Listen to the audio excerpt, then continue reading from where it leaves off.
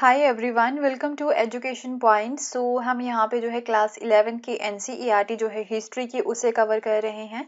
And इसका second chapter uh, जो है वो हमने यहाँ पे स्टार्ट किया था। एंड उसकी काफ़ी सारी वीडियोस जो है वो हम ऑलरेडी कंप्लीट कर चुके हैं। काफ़ी सारे टॉपिक्स जो है वो हम यहाँ पे ऑलरेडी कंप्लीट कर चुके हैं। तो ये वाली वीडियो जो है वो फाइनल वीडियो है या फिर लास्ट वीडियो है इस पर्टिकुलर चैप्टर की चैप्टर नंबर टू की। एंड जिसमें हम जो है मेसोपोटामियन टाउन्स के बारे में बात कर रहे थे एंड उसमें हम देख रहे थे कि राइटिंग जो होती है मेरी राइटिंग किस तरह से डेवलप होती है एंड एट दी एंड हमने जो है इसकी लीगेसी के बारे में भी देखा कि राइटिंग की वजह से हमें जो है क्या एक तरह से हमारे पूर्वजों ने जो है क्या चीज़ें प्रोवाइड करवाई हैं एंड उसके बाद में हमने जो है जो सिटी लाइफ होती है ना उसके बारे में भी बात की थी अपनी प्रीवियस वीडियोस में। एंड uh, अपनी लास्ट वीडियो में हमने बात की थी कि जो अर्लियर सिटीज़ है जैसे कि उर सिटी है या फिर कुछ और भी इंपॉर्टेंट टाउन्स हैं यहाँ पे तो उन्हें जो आर्कियोलॉजिस्ट है ना वो किस तरह से एक्सकेवेट करते हैं? तो क्या आज यहाँ पे जो टूल्स यहाँ पे यूज़ किए जाते हैं या एक्सकेवेट करने की जो टेक्निक्स है वो आज यहाँ पे चेंज हो चुकी हैं? एंड uh, काफ़ी अच्छे से यहाँ पे जो है एक्सकेवेट किया जाता है हर एक टाउन को जो कि हमारे लिए एक नॉलेज uh, का सोर्स बनते हैं अबाउट द पास्ट तो उन चीज़ों के बारे में हमने जो है अपनी प्रीवियस वीडियो में कवर किया था। And now we will discuss about the early library क्योंकि uh, हमारे पास जो है बहुत ज़्यादा सोर्सेज जो हैं वो अवेलेबल हैं जो कि हमें मेसोपोटामियन टाउन्स के बारे में बताते हैं। एंड उन्हीं सोर्सेज का यूज़ करके हम जो है एक हमारी जो अर्लियर हिस्ट्री है ना, उसे क्रिएट कर पा रहे हैं। उसके बारे में समझ पा रहे हैं, जो अर्लियर सिटी लाइफ थी, उसके बारे में समझ पा रहे हैं। तो अब हम यहाँ पे देखेंगे कि ये जो उन्होंने जितने भी जो टाउन एक तरह से इन टाउन्स पे जो चीज़ें थी ना, वो यहाँ पे जो टेक्स्ट थे या फिर जो टैबलेट्स की फॉर्म में यहाँ पे वो संभाल के रखते थे ना सारे टेक्स्ट को तो वो उन्होंने किस तरह से संभाल के रखा था? मीन किस तरह से जो है वो इस चीज़ों को, इस डाटा को जो है ना, वो प्रिजर्व करके रखते थे। उनके अर्लियर अटेम्प्ट के बारे में जो है, इस पर्टिकुलर वीडियो में हम कवर करेंगे। तो हम अर्ली लाइब्रेरी के बारे में बात करेंगे। राइट जैसे कि आज भी अगर हम बात करें तो हमारे पास लाइब्रेरीज हैं, बहुत ज़्यादा लाइब्रेरीज हैं। एंड वहाँ पे भी जो है इंपॉर्टेंट डाटा जो है ना, उसे सेव करके रखा जाता है, उसे प्रिजर्व करके रखा जाता है। तो अभी हम यहाँ पे अर्लियर लाइब्रेरीज के बारे में बात करेंगे।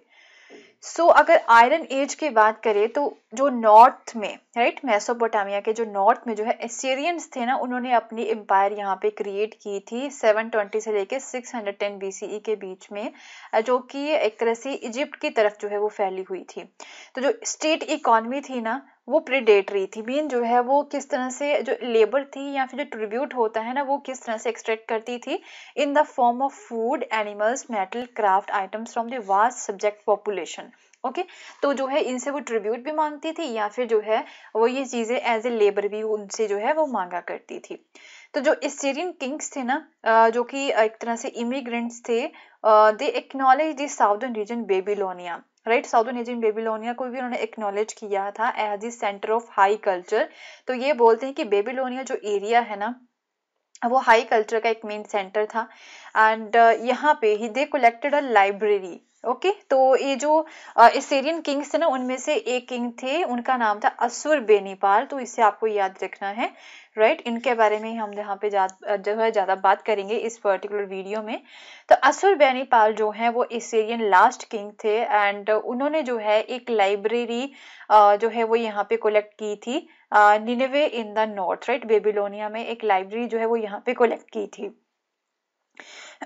Sorry so he made great efforts to gather the tablets on the history तो यहाँ पे बेबीलोनिया में एसर बेनीपाल जो है ना, वो कोशिश करते हैं ना कि हिस्ट्री के ऊपर जितने भी टेबलेट्स हैं ना, वो अच्छे से यहाँ पे मैं गैदर कर लूँ. एपिक्स के ऊपर ओमेन लिटरेचर के ऊपर एस्ट्रोलॉजी हेम्स एंड पोइम्स के ऊपर जितने भी टेबलेट्स वहाँ पे उस लाइब्रेरी में पड़ी हुई है ना बेबीलोनिया में तो वो मैं यहाँ पे कोलेक्ट कर लूँ.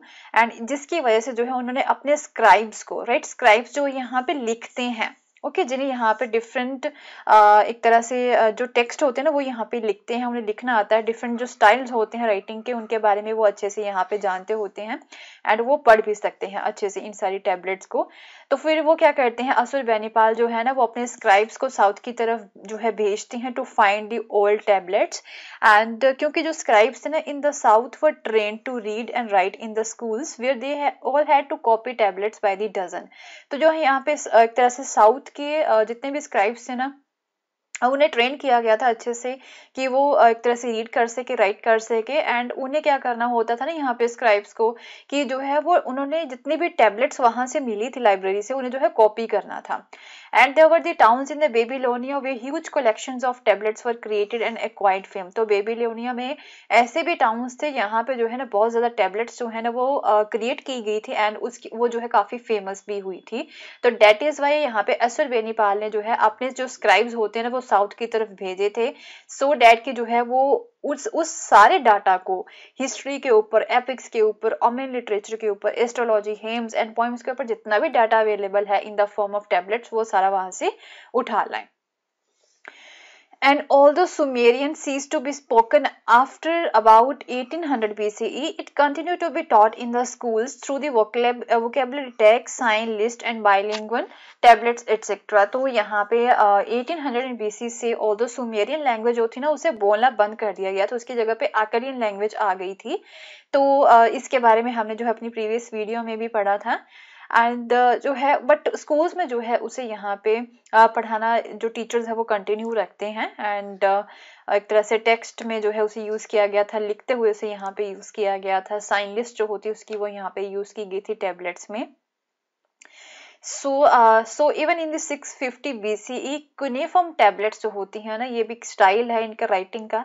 Written as far uh, back as 2000 BCE were intelligible and the Assur-Banipal men knew where to look for early tablets or copies तो यहाँ पे असुर बेनीपाल के जो स्क्राइब्स थे ना, उन्हें पता था कि किस तरह से अली टैबलेट्स को फाइंड करना है, किस तरह से उन्हें कॉपी करना है। सो कॉपीज यहाँ पे बनाई गई थी इंपॉर्टेंट टेक्स्ट की, जैसे कि एपिक हो गया यहाँ पे गिलगामेश का राइट उसकी कॉपी यहाँ पे की गई थी। The copier stating his name and writing the date तो कॉपियर जो है ना, जो यहाँ पे कॉपी करता था, जो कॉपी बनाता था, उसके ऊपर जो है ना, अपना वो नाम एंड उसका जो डेट होती है ना, वो यहाँ पे लिख देता था। तो कुछ टैबलेट्स जो है ना ended with reference to the Assur Banipal तो कुछ टैबलेट जो कुछ टैबलेट्स जो है ना, वो ऐसी भी कॉपी की गई हैं कि जिसमें जो है असुर बेनीपाल का यहाँ पे रेफरेंस दिया गया है बाय देयर स्क्राइब्स ओके क्योंकि इनके स्क्राइब्स ने यहाँ पे कॉपीज बनाई थी ना, जिसे वो प्रिजर्व करके रखना चाहते थे एंड असुर बेनीपाल ने ही जो है उन स्क्राइब्स को हायर किया था तो उन टैबलेट्स में जो है जिसमें उन्होंने टेक्स्ट को कॉपी किया था, वहाँ पे असुर बेनीपाल का भी रेफरेंस हमें यहाँ पे देखने को मिलता है। तो ये थोड़ा सा यहाँ पे एग्ज़ाम्पल दे रखा है। I, Assurbanipal, king of the universe, king of Assyria, on whom the gods bestowed vast intelligence, who acquire uh, who could acquire the recondite details of scholarly erudition. I wrote down on tablets the wisdom of the gods, and I checked and collated the tablets. I placed them for the future in the library of the temple of my god, Nabu, at the Nineveh, for my life and the well-being of my soul, and to sustain the foundations of my royal throne. तो वही चीज़ वो उसने लिखने की कोशिश की है कि मैंने मुझे भगवान ने एक इंटेलिजेंस जो है वो प्रदान की है। एंड मैं क्या कर कर रहा हूँ यहाँ पे कि टैबलेट्स के ऊपर जो है भगवान की विजडम को लिखने की कोशिश कर रहा हूँ। मैं डिफरेंट डिफरेंट टैबलेट्स को पढ़ रहा हूँ चेक कर रहा हूँ। एंड फिर मैं उन, मैंने उन टैबलेट्स को जो है लाइब्रेरी में संभाल के रख दिया है फ्यूचर के लिए। एंड एक तरह से for my life and the of my soul also तो ये चीज़ें जो उसमें रेफरेंस जो है देखने को मिलता है। सो अर्ली आर्कियोलॉजिस्ट जो थे उसके बारे में थोड़ा सा देख लेते हैं। A man of the southern marshes, Nabopolassar released Babylonia from the Assyrian domination in the 625 BCE. तो बेबीलोनिया को जो है उन्होंने रिलीज़ करवाया था from the Assyrian domination 625 BCE में। तो he successor increase the territory and organise building projects at the Babylonia तो यहाँ पे नेबो पॉलसर जो थे राइट उन्होंने बेबीलोनिया को फ्री करवाया था। फिर अपनी टेरिटरी को जो है बेबीलोनिया की टेरिटरी को वो इंक्रीज करते हैं। यहाँ पे कई सारे प्रोजेक्ट्स उन्होंने बनाए थे। And from that time even after the Achaemenids of Iran conquer the Babylon in 539 BCE तो उनके बाद में नेबो पॉलिसर के बाद में जो है ना ईरान ने राइट? ईरान के जो एक के मिनट्स थे, उन्होंने बेबीलोन एरिया को कंकर कर लिया था 539 बीसीई में and until 331 BCE when Alexander conquer Babylon फिर उनके बाद में जो है एलेक्जेंडर ने बेबीलोन को एक तरह से कंकर कर लिया था तो उस समय तक यहाँ पे 331 बीसीई तक जो है बेबीलोन एक प्रीमियर सिटी रहती है पूरे वर्ल्ड की एंड एट 150 हेक्टेयर्स में वो बटी हुई थी। इसके इर्द गिर्द जो है ट्रिपल वॉल थी। ग्रेट पैलेसेस थे, यहाँ पे टेम्पल्स थे। एंड जिगुरट और द स्टेप टावर यहाँ पे बना हुआ था। And processional way to the ritual centre okay तो यहाँ पे जो है ट्रेडिंग हाउसेस बनाए गए थे। मैथमेटिशियंस एंड एस्ट्रोनॉमर्स भी आपको यहाँ पे देखने को मिल जाएँगे। कुछ डिस्कवरीज यहाँ पे कर रहे थे। एंड द नेबोनिडस जो है वो इंडिपेंडेंट बेबीलोन के लास्ट रूलर थे and he writes that the god of Ur came to him in the dream कि जो उर के भगवान है, वो उनके ड्रीम में आए हैं and order him to appoint a priest to take charge of the cult in the ancient town the deep south वो बोला कि यहाँ पे एक प्रीस्ट जो है वो टेंपल में आप यहाँ पे लगा दें and he writes because for a very long time the office of high priest had been forgotten तो उन्होंने ये भी लिखा है कि काफ़ी लंबे समय तक जो प्रीस्ट यहाँ पे किसी को भी नहीं लगाया गया था एंड उन्हें जो है भूल गए थे लोग ओके तो डेट इज़ वाई जो है मैं इसके बारे में बार बार यहाँ पे सोचता हूँ So uh, then he says he found this tale of very early king whom we today date to about 1150 so on this tale that the carved image of the priest and वो ये भी बोलते हैं कि मुझे यहाँ के इस एरिया के उर एरिया के जो सबसे अर्लीस्ट किंग थे ना 1100 BC uh, 1150 BCE में तो उनके आ, समय के कुछ स्टोन्स हमें यहाँ पे मिले हैं जिसके ऊपर जो है प्रीस्ट की पिक्चर जो है ना वो यहाँ पे कार्व्ड आउट की गई है। एंड उसमें जो है क्लोथ्स किस तरह के हो सकते हैं प्रीस्ट के उनकी ज्वेलरी किस तरह की हो सकती है वो डिपिक्ट किए हुए हैं उस पत्थर के ऊपर।